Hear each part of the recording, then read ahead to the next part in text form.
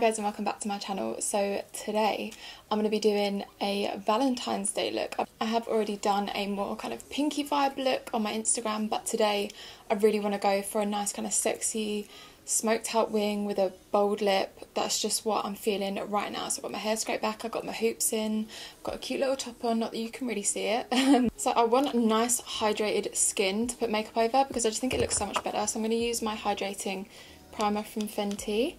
I take a fair amount of that. I've already done my skincare and everything.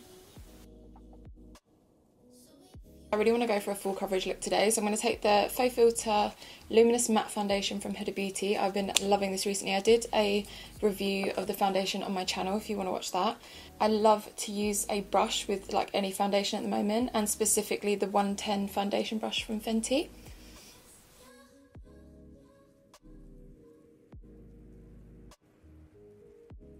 Alright, so I did about one and a half pumps and that covered my entire face. I just like to go over with a damp sponge afterwards to make sure that everything's nicely blended.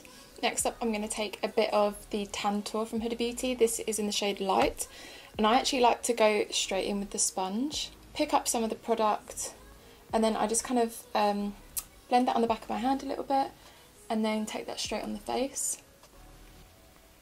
This will just give us a bit of warmth, a bit of contour, and it's really nice if you're trying to go for like a full glam look to add a bit of cream contour because it just makes it so much more long lasting as well. So for concealer, I'm actually going to take a mix of two. I'm first going to use the Instant Retouch Concealer from Fenty directly under the eyes just to get that nice little bit of coverage. And then I'm going to go in with the Flower Beauty Light Illusion Full Coverage Concealer in shade, what is this, L34 Light um, because it's just a little bit on the lighter side um, compared to the Fenty one, so it'll just brighten it a little bit more. I'm just going to add a little bit of the Fenty one right there and using Fenty concealer brush, the 180 concealer brush. I'm just going to blend that directly where I get darkness. And this will just give us the extra bit of coverage we need. Then I'm going to take the, the Flower Beauty, oh my god I'm so used to saying Fenty. Now I only put concealer where I want to lift and brighten. You do not need to do that triangle, it's just a waste of product.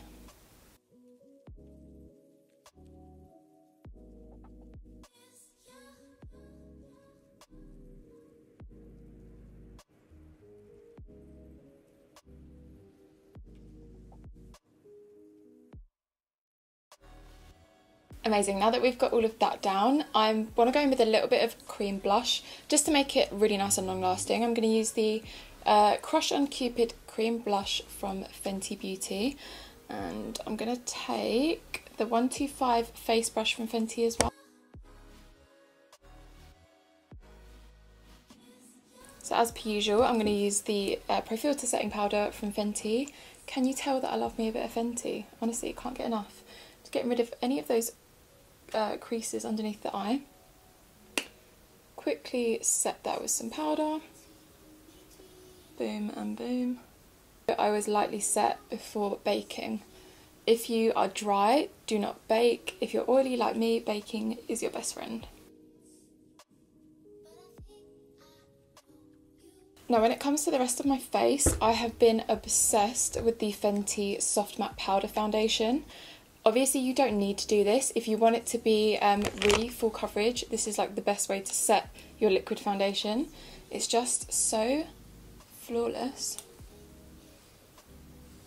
I'm obsessed. You can just use some translucent powder if you don't want the extra coverage. Another trick as well, which is like totally extra, you do not need to do this, um, but I love the Charlotte Tilbury Airbrush Flawless Finish Powder. I use the shade Light and I pick some up and I just stipple again, stipple that into these areas. That will take away any flashback if you're doing like flash photography. Don't know what it does, but it like blows your pores. It's amazing. Live for it. So I'm going to use the Laura Geller Gilded Honey Highlight. I just like to go down the bridge of the nose and the tip. Then taking my Anastasia A23 brush, I'm just going to pop that on the top of the cheekbone. Just a little bit. And then for blush, I'm going to go for my favourite blush ever, which is the HNB Cosmetics Feeling Peachy Blush. Oh, she's looking cute. She's looking cute, we're getting there. I really want to do a nice winged out kind of smoky look.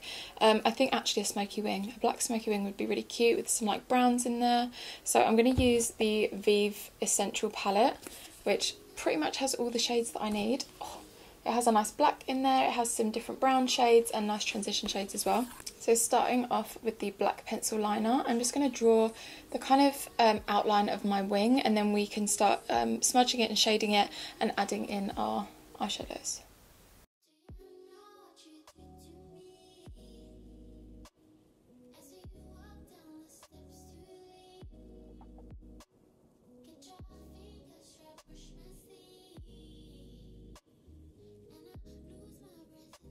So now that we have the base of the wing, I'm just going to use a really small pencil brush. This is the Morphe Jaclyn Hill 39 brush.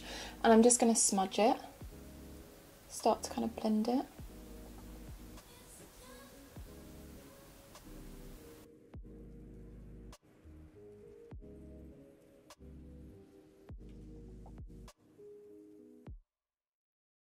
So now I'm going to go in with the black eyeshadow in the Essential palette from Vieve and it is the shade called Goodnight, it's basically going to set that liner in place and help to blend as well.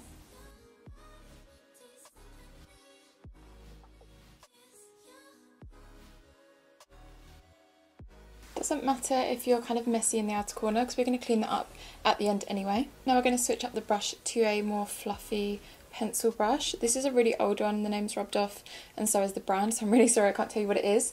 But I'm going to use the shade Delicious. So I'm going to bypass Lava Rock and go straight to Delicious because I want it to be a bit warmer.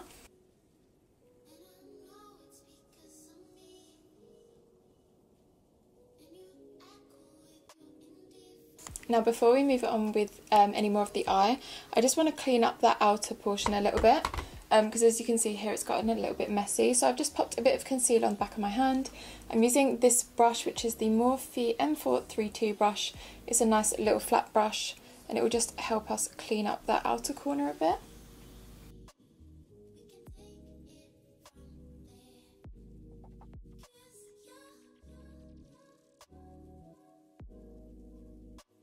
let me chuck my bronzer on quickly.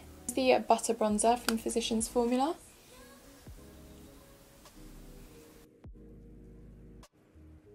I really love taking this into this front portion here, right at the front of the brow. And it just connects everything. So I'm going to put a little bit of colour in the crease, just a tad. I'm going to use the shade Buff, which is my favourite transition shade from this palette. And I'm keeping that right in the upper portion of the crease. Then lastly, I'm going to take a bit of So Shy, which is the kind of creamy shade. I'm going to use this as like my inner corner highlight as well. As you can see, I just added a bit of colour to my lower lash line and added some black pencil to my waterline as well, just to finish that off. I'm going to use the Physicians Formula Lash Mixologist Mascara, it's a bit of a mouthful. It's a really, really nice mascara. It reminds me of the Huda Beauty Legit Lashes actually, because it has the two sides as well to help kind of build your lashes. Um, and then I'm going to go with some falsies as well, because if you're going for a dramatic, full coverage, sexy look, you need some sexy lashes in your life. So I'm going to go in with the Kara Beauty Fabulashes.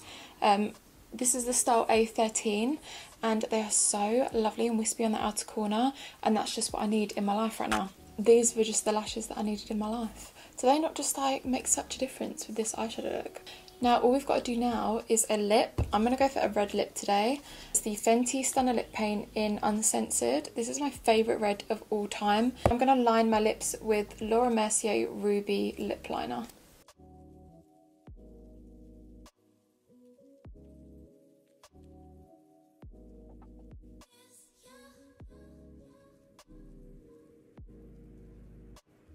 And then the last step to finish this look off is a little bit of setting spray. The Continuous Setting Mist from Morphe is my favourite. It's just the best. So I did just have to switch up my hair because I was not feeling the updo situation and I feel like I'm just so obsessed with this look. I really hope you guys enjoyed this tutorial and I hope you have an amazing Valentine's Day whatever you're doing. If you're in the UK you're probably going to be at home but you know you can FaceTime your girls or your man or whatever. Um, but if you did enjoy the video please make sure to hit that like button and subscribe to my channel if you haven't already. I would really appreciate it. Um, and then apart from that, I think I'll see you on Wednesday. Bye.